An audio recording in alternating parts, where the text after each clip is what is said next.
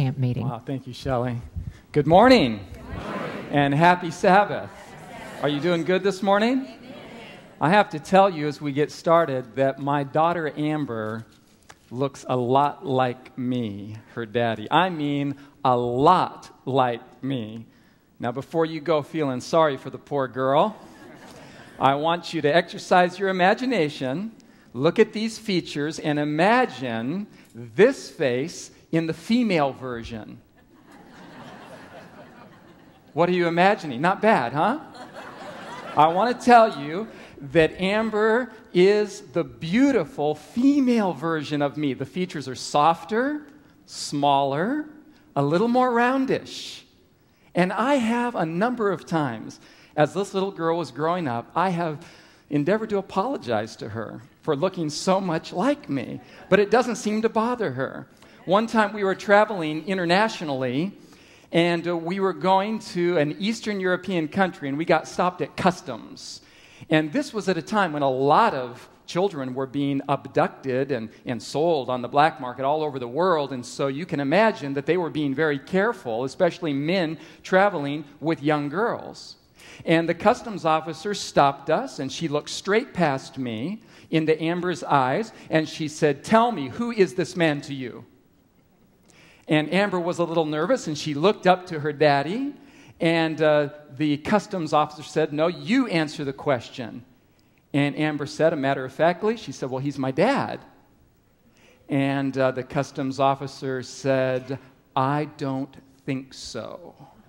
You're too old and he's too young that's what she said. And then Amber and I, without even speaking to one another, we got the same idea, just flashed into our minds. And I looked at her, she looked at me, and I gave a nod. We knew what to do. And we flashed a twin profile for the customs officer. and I said, Hey, customs officer, look really carefully at our face, especially the nose.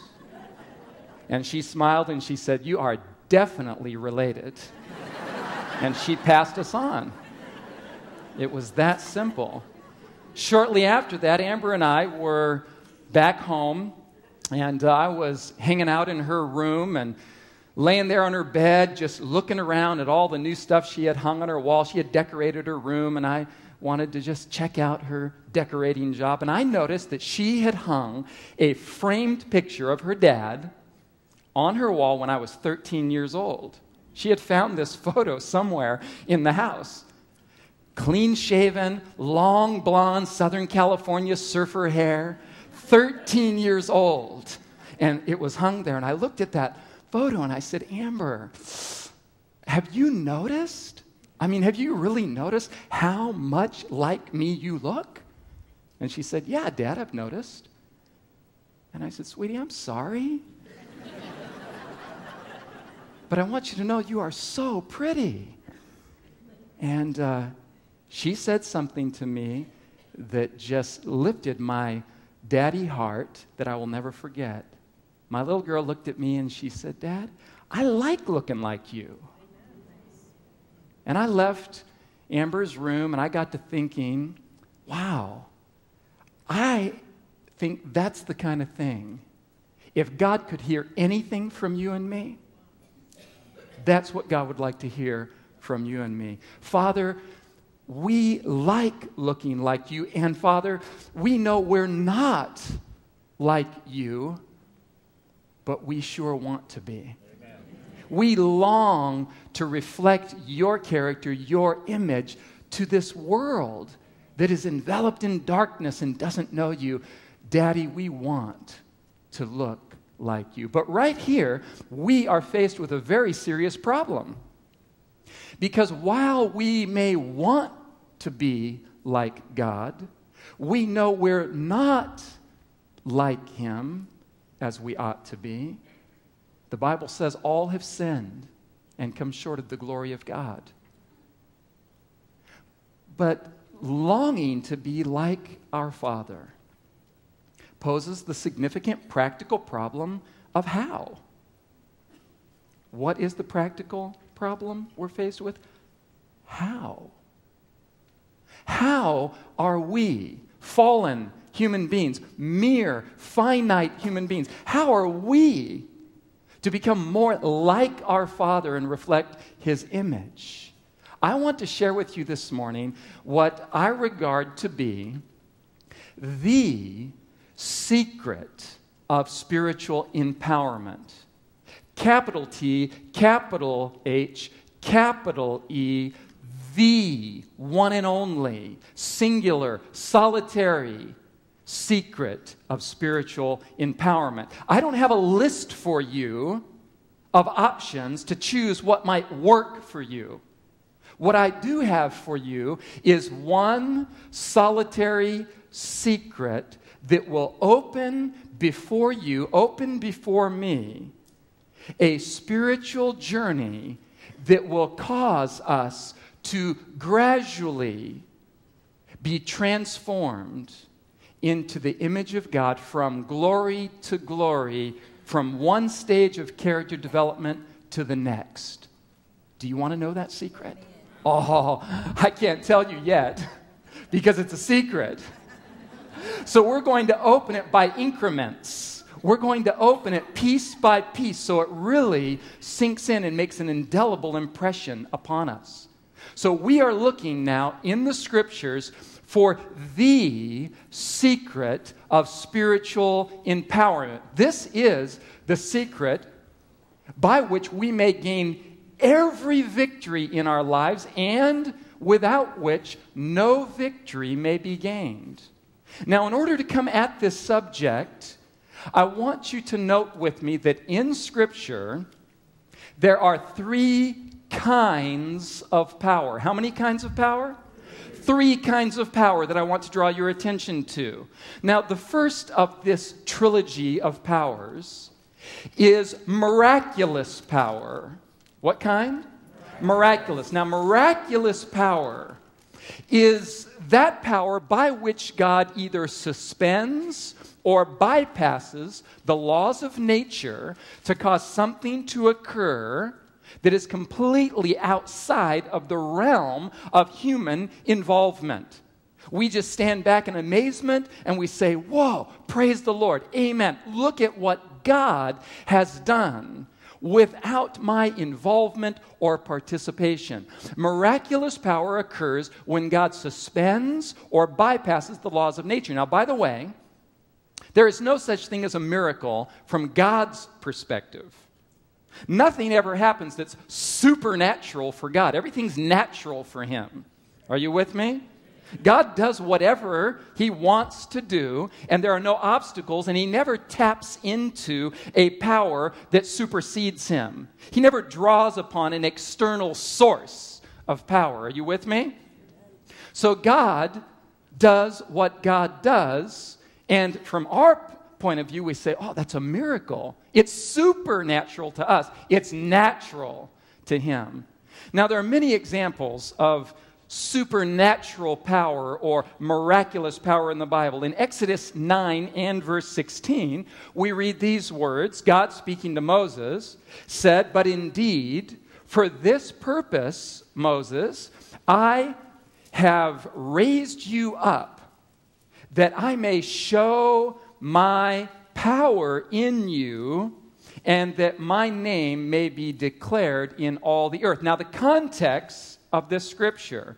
When God says, Moses, I've raised you up to show my power in you. The context here are the plagues that came upon Egypt. Moses went to Pharaoh and said, God has a message for you, Pharaoh. Let my people go. And he repeatedly refused.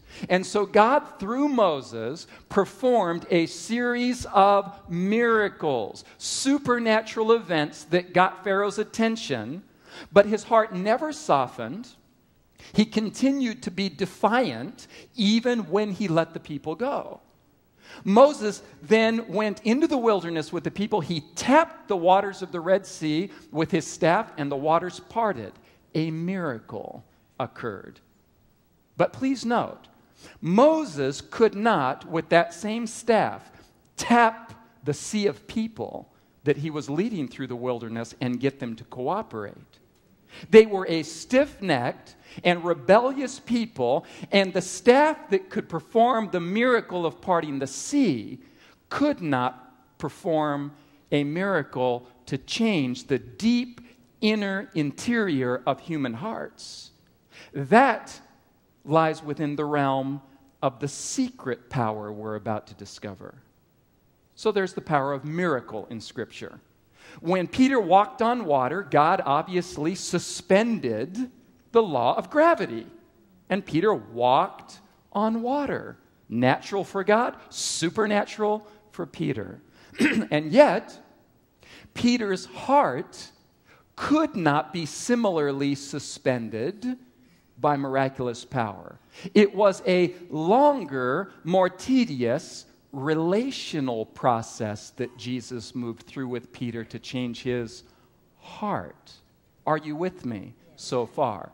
So while miraculous power has its place and its use, miraculous power is outside of the purview of changing the human heart. I experienced miraculous power a number of times in my life. I remember Esther from Mexico who came to visit family in the United States of America. And she was a 26 year old, highly educated young physician. And she was an atheist. And her relatives, who were friends of mine, brought her to introduce her to me so we could change her, so we could convert her. They wanted me to give her Bible studies, and they were hoping that this would have its effect upon her. Esther and I became friends through this series of days that we studied the Bible together.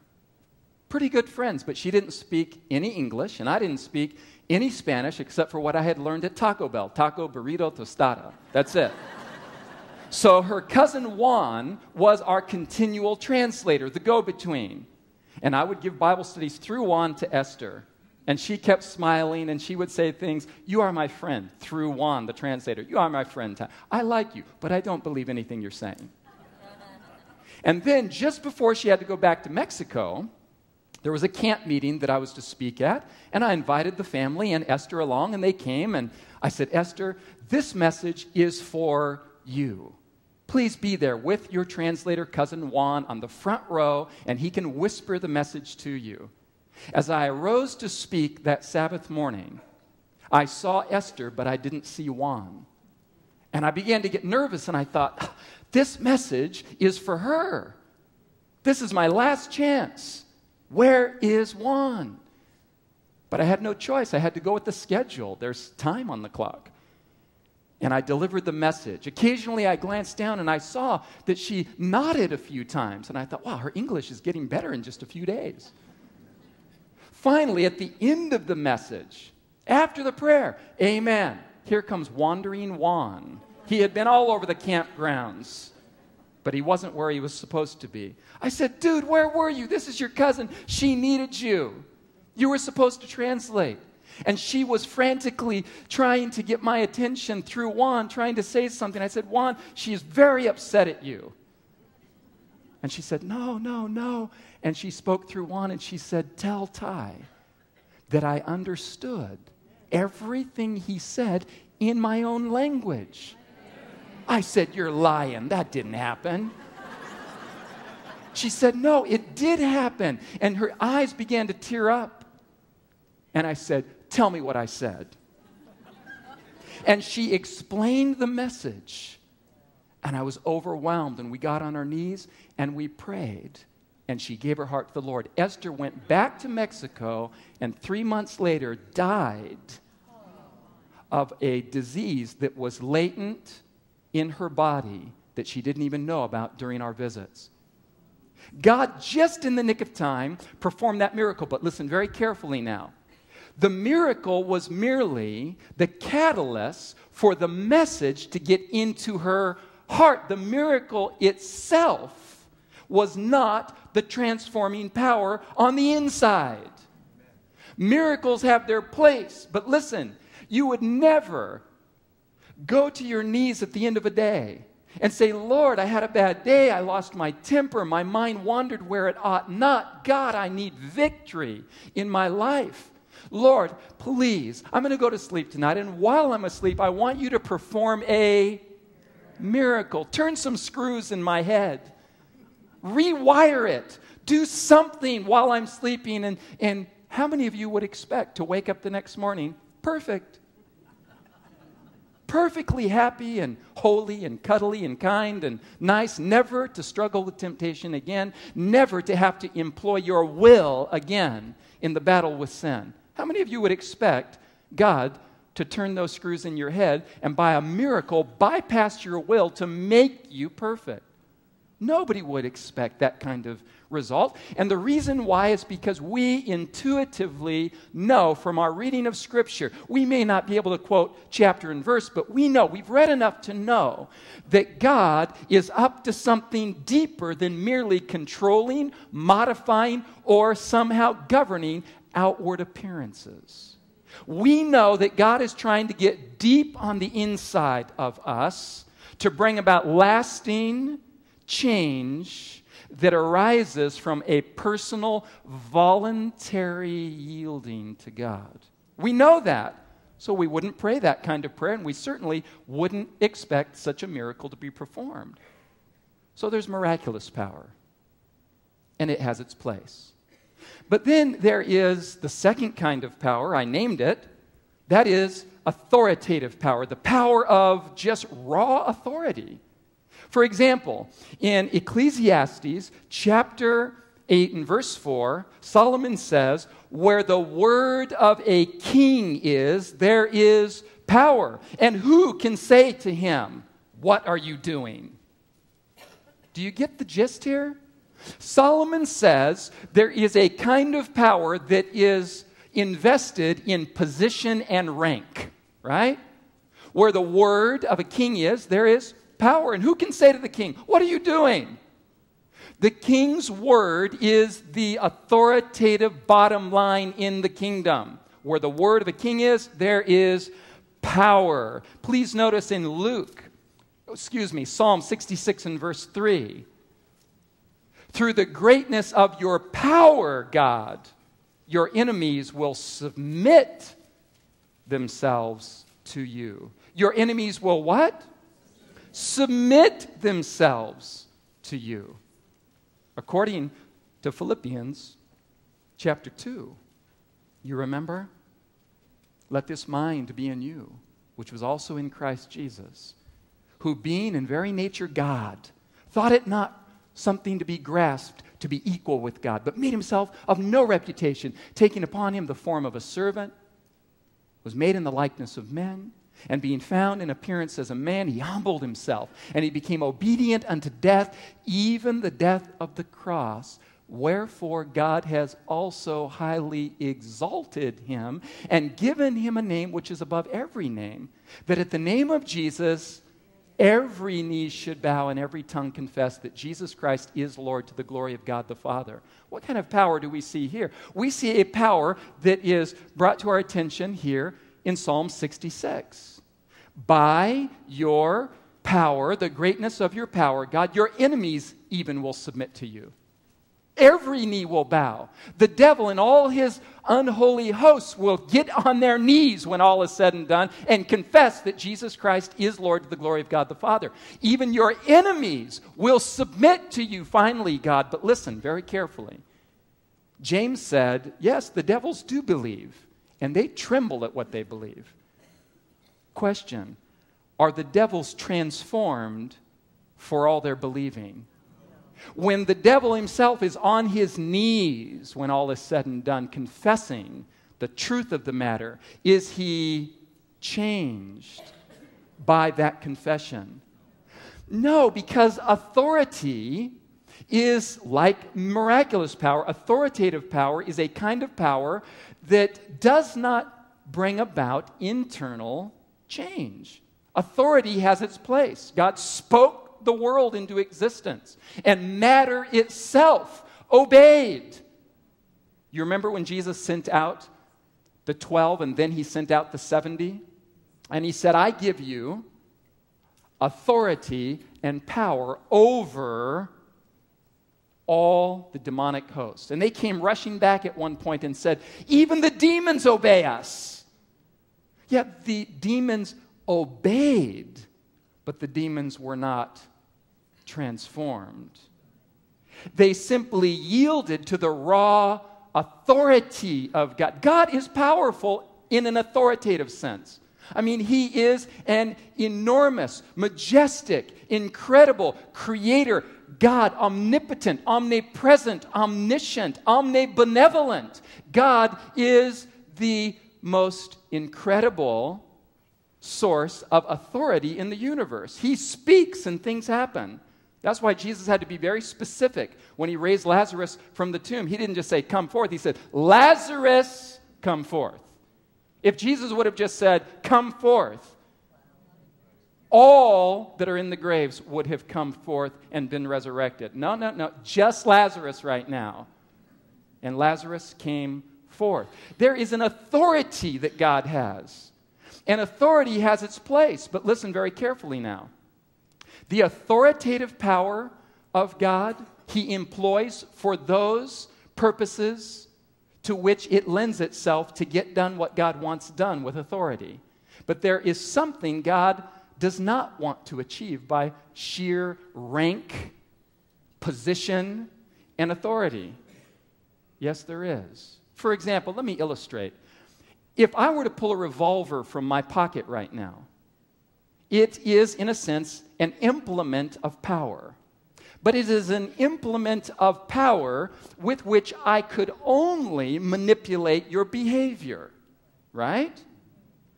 If I point the gun out and I say, stand up right now, what would you do? You'd stand up. Most of you would, except for the ones with good, strong German lineage. You would press the point a little bit. But the rest of you, you would stand up.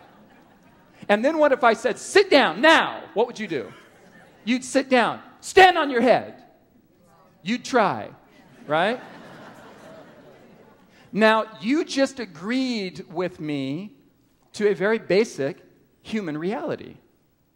You agreed that with an implement of authority, power, force, manipulation, that I could manipulate your behavior. Stand up, sit down, stand on your head, make me fettuccine alfredo with baby asparagus and focaccia bread. Now, right?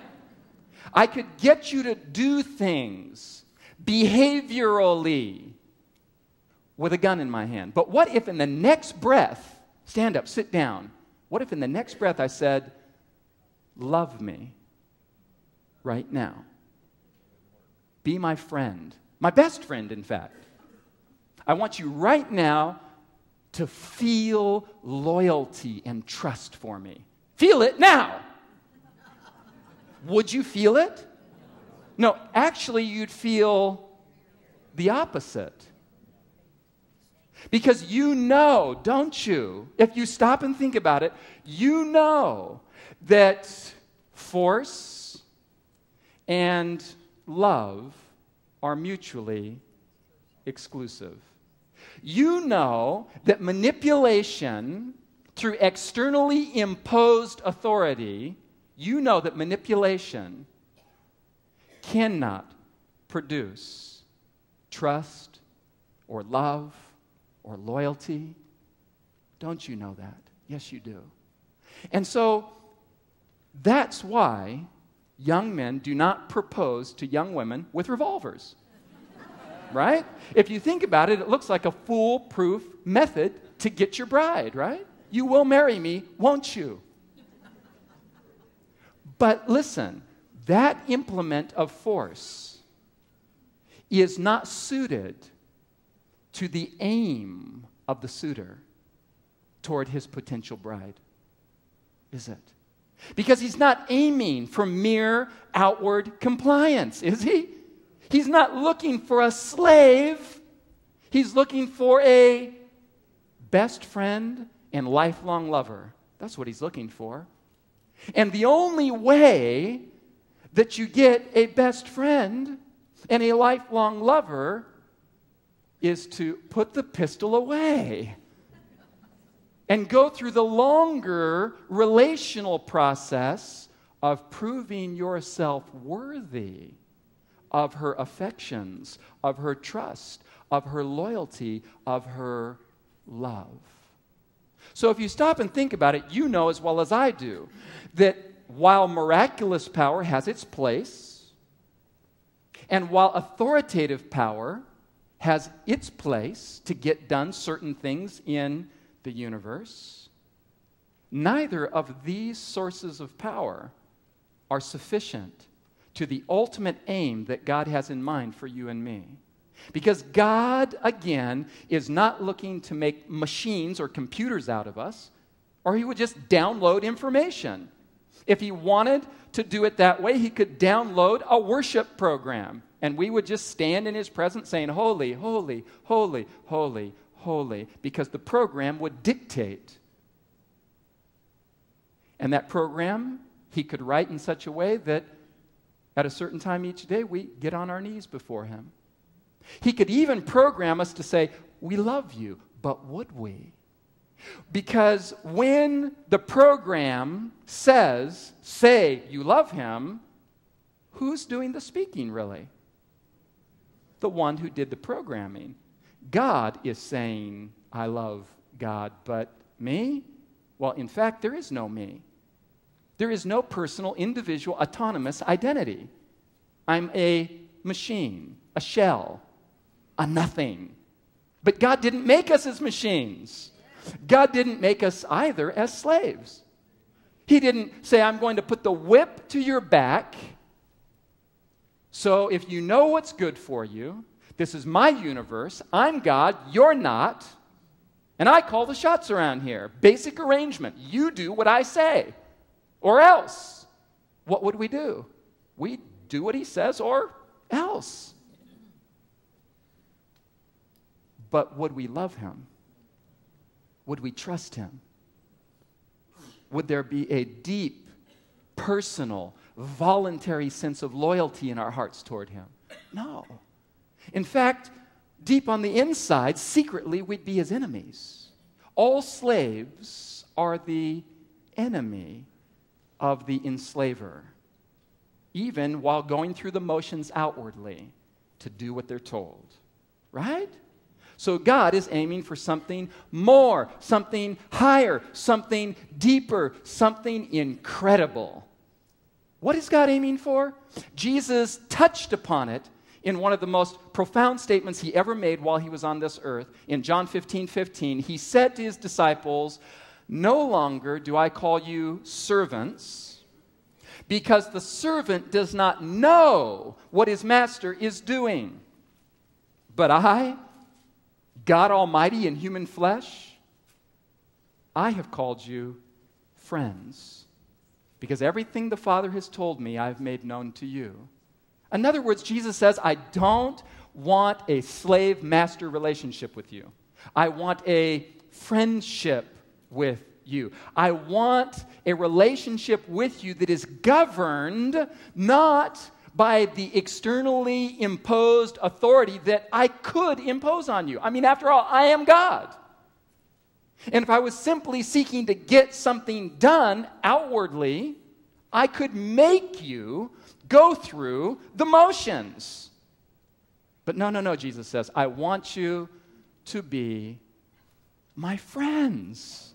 And that was the highest compliment that God paid anyone in Scripture. He said of Moses, Moses is my friend. He said of Abraham, Abraham is my friend. He said of David, David is a man after my own heart.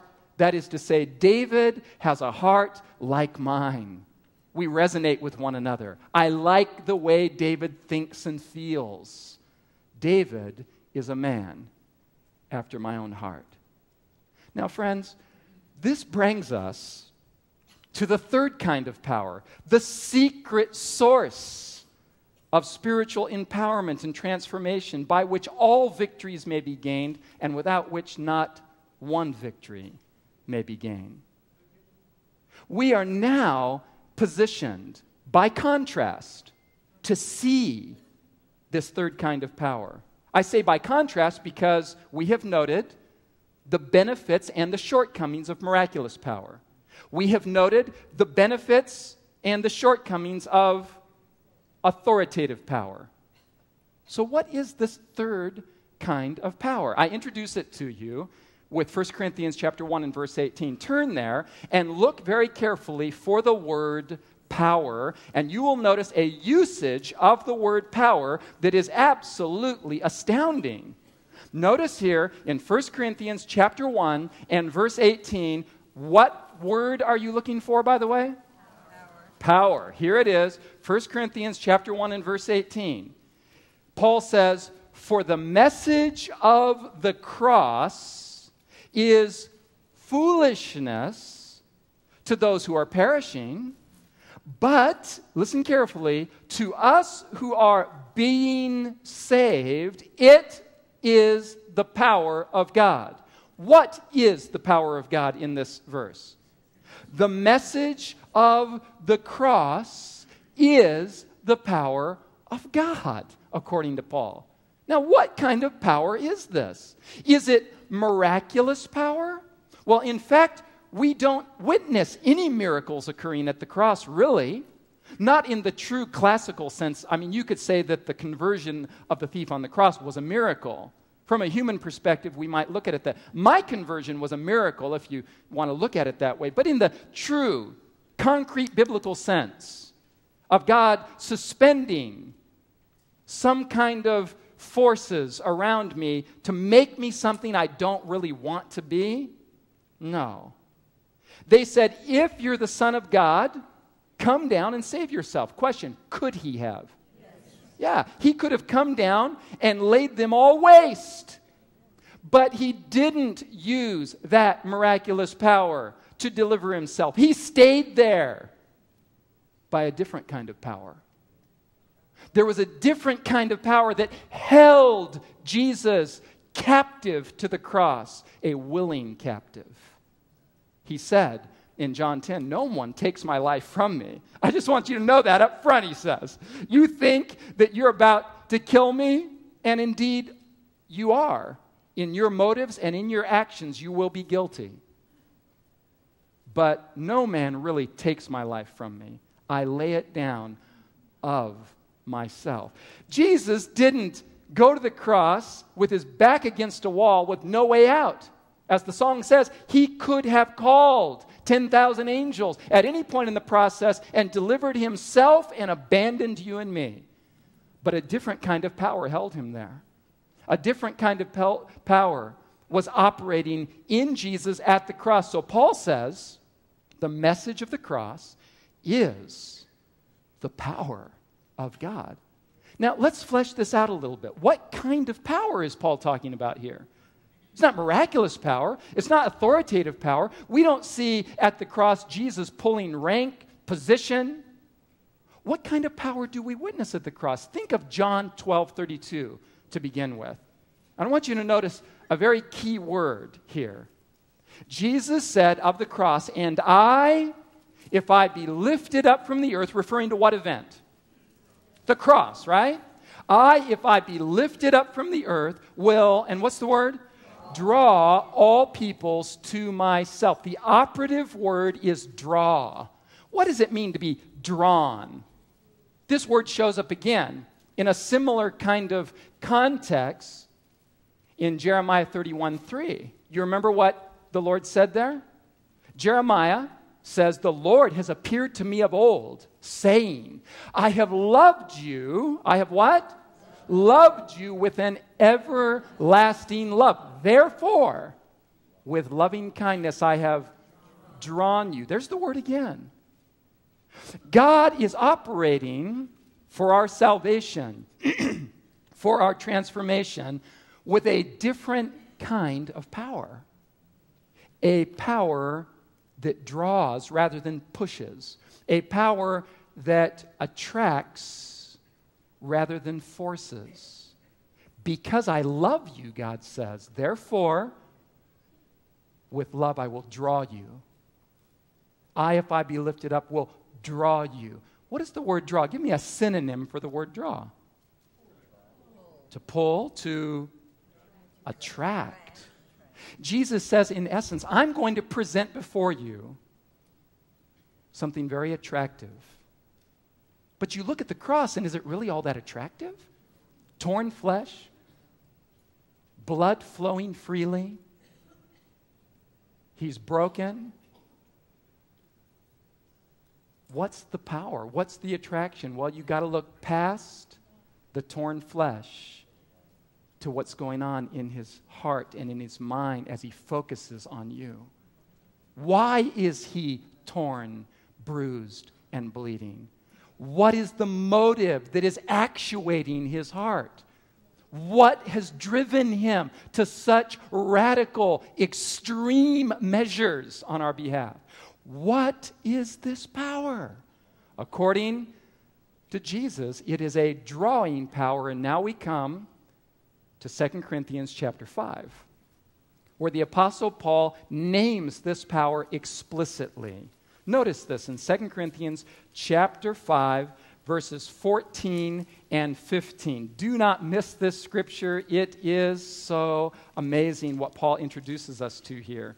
Chapter 5, verse 14. Notice, speaking of the cross, Paul says, The love of Christ, what does your version say? Does what?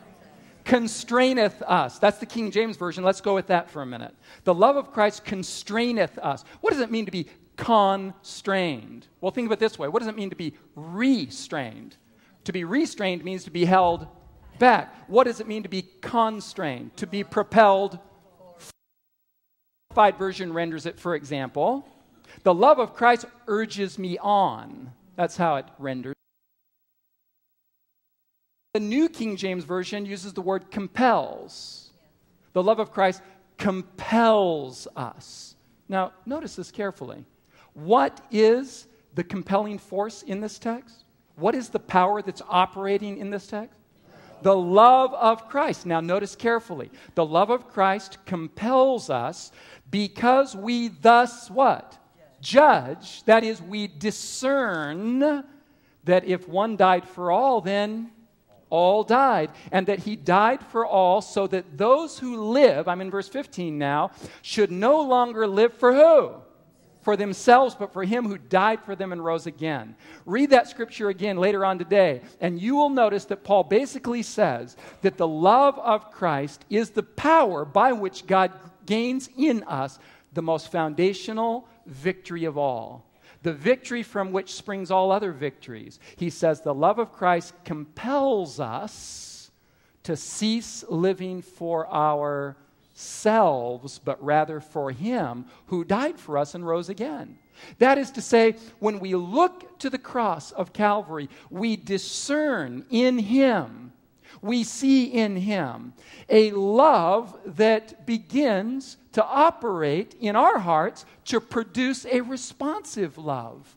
So, Paul says, the love of Christ causes us to stop living for who? For self and to begin living for Him. There's a voluntary action here.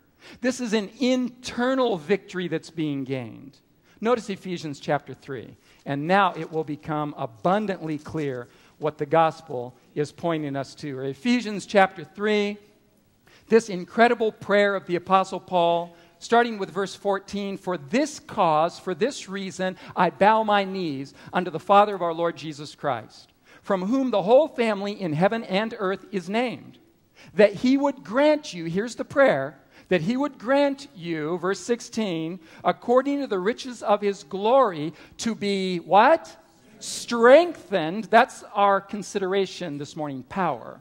To be strengthened with might by his spirit in the inner man, the inner person. Where is this strength occurring? In the inner man. This isn't a miracle being externally imposed. This is not authority being externally imposed. This is a strengthening on the inside, Paul says, in the inner man. Now, watch this. Notice the source of this strength, this power. Verse 17, that Christ may dwell in your hearts through faith, that you, being rooted and grounded in love, may be able, and what's the word he uses now? To comprehend with all saints what is the width and length and depth and height. God's love is dimensional. It has no bottom, it has no cap, it has no edges. God's love is a multi dimensional, beautiful character that we can behold for all eternity and never exhaust it. That you may comprehend the love of Christ, which passes knowledge. It's beyond us to ever exhaust it or fully comprehend it, but we can comprehend God's love to the degree that it will empower us. So Paul goes on and he says, verse 19, to know the love of Christ, which passes knowledge. Now, watch this, that you may be filled with all the fullness of God. How is it that we are filled with all the fullness of God, according to Paul? Through a comprehension of the love of God. The most basic law of human nature, all of us are governed by it without exception, is what we may call the law of beholding. By beholding, we become changed, derived from 2 Corinthians 3:18. But listen, we can state this law in another way. And that is to say that there is operating in human nature what we may refer to as the law of proportional effect. And it says this the degree to which we comprehend and accept God's love for us is the degree to which we, in turn, will love Him. Love begets love. I love the statement in Desire of Ages that says, Love gives birth to love. Now, Paul goes on and he says here at the closure of his prayer, verse 20, now unto him who is able to do exceeding abundantly above all that we could ever ask or think. And what's the last part there? According to the power which works where? In us. And according to the context, what is this power that works in us? It is the love of Christ. And how does that love, that powerful love, find access to the inner man? Through the medium, through the channel of comprehension. You want to know the secret? You want to know the secret of spiritual empowerment? You want to know the secret of victory? I'll tell it to you right now. That love infused becomes love diffused. That in fact, Love of God on the inside shows up on the outside. The more deeply we comprehend God's love for us, the more we in turn are made able, empowered to love all others and God. Paul in Galatians chapter 5 does something very interesting that you'll never want to forget. Paul says in Galatians 5, verses 5 and 6, that we wait for the hope of righteousness by faith. For in Jesus Christ, neither circumcision avails anything nor uncircumcision. No outward form will avail in this matter. But verse 6, what does avail? Faith which works by love. Now, the reason this verse is so crucial is because the word works in the Greek is the word energeo, from which we get the English word energy.